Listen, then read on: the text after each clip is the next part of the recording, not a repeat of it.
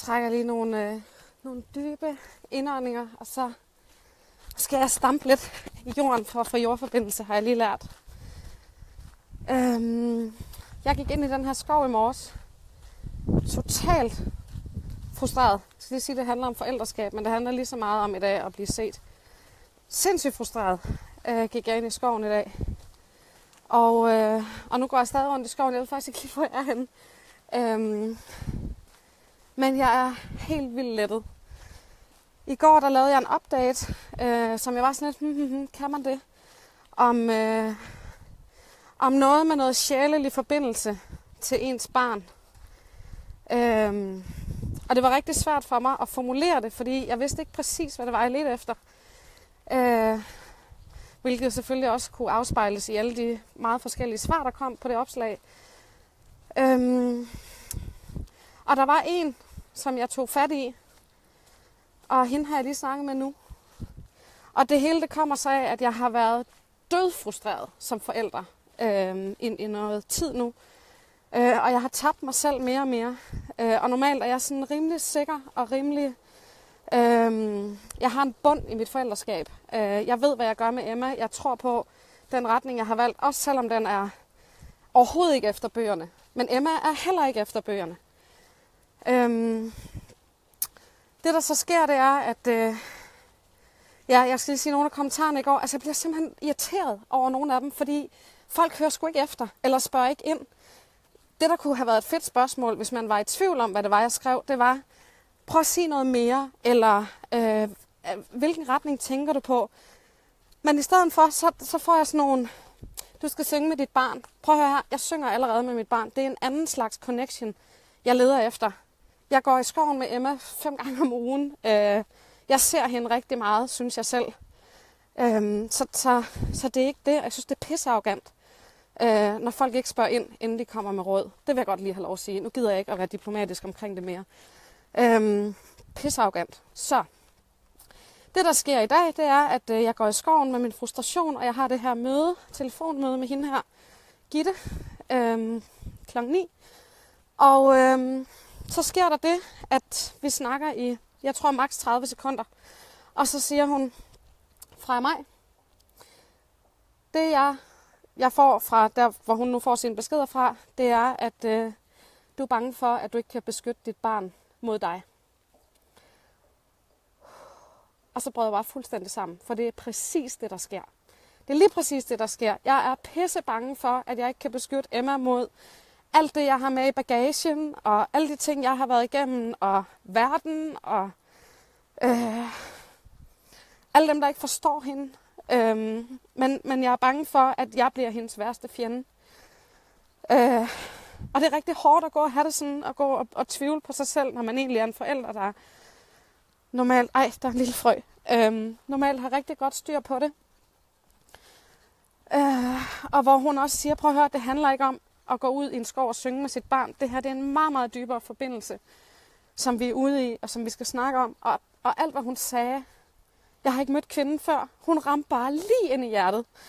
Og jeg følte mig så set, og jeg følte mig så hørt. Og det er så svært, især på Facebook som forældre, at føle sig set og hørt, og føle, at der er nogen, der virkelig har lyst til at prøve at bruge lidt tid og lidt energi på at, at grave ind til, hvad er det egentlig, du, hvad er det, altså, hvad er det, der forstyrrer linjen her? Og hende her, ikke?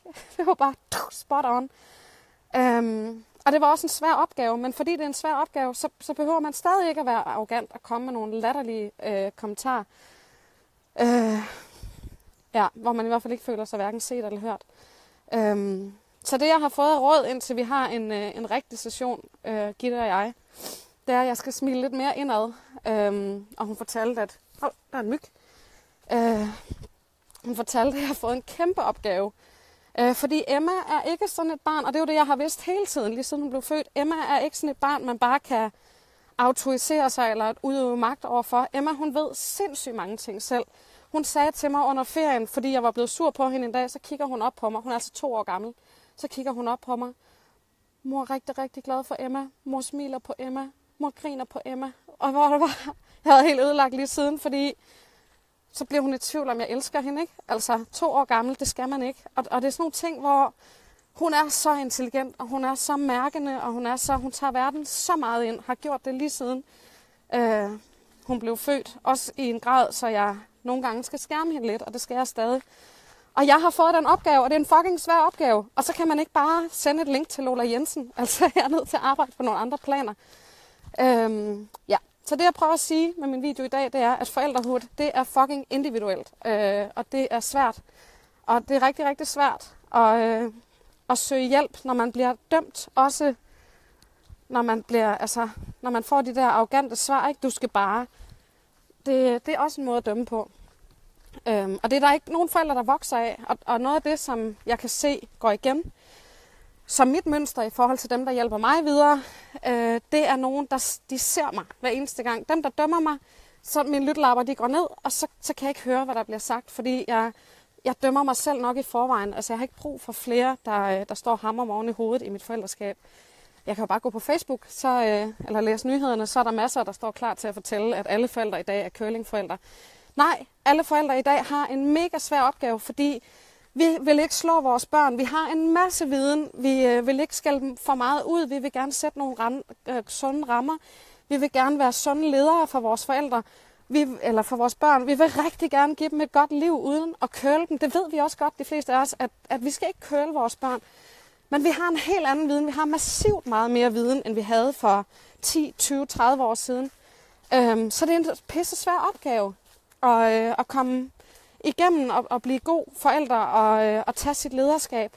Nu hørte jeg en podcast i går med en, og hun er skide sød og dygtig, men jeg følte mig simpelthen som sådan en udulig forælder bagefter, fordi det var sådan noget med, man skal kigge på alt sit eget, og børn er kun spejle og sådan noget. Og jeg ved også godt alle de her ting, men hvis jeg skal have den viden med mig i alt, hvad jeg gør i min hverdag, så giver jeg op på forhånd. Fordi så, jeg kan ikke have fokus på alle de ting hele tiden. Jeg vil bare gerne være en god mor for Emma.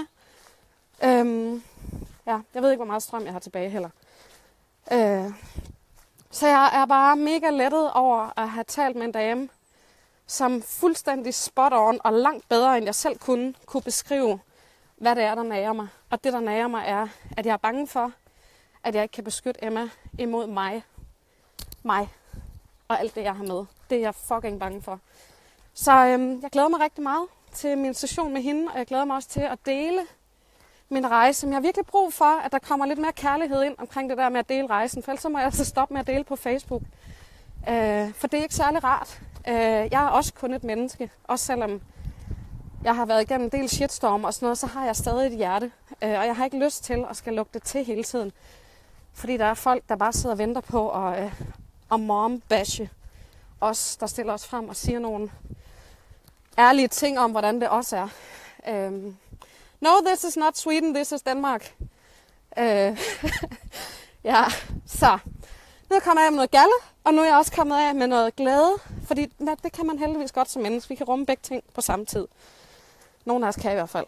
Øh, og nu vil jeg nyde min skovtur, og så vil jeg sige tusind tak, fordi du lyttede. Øhm, og så øh, del videoen, hvis den giver mening, men, men hvis du kun har sådan nogle venner, der er nederen og skriver nederen ting, gider du så ikke godt være sød og lade være med at dele videoen, for jeg gider ikke alle de kommentarer. Thank you very much, og have en rigtig dejlig mandag.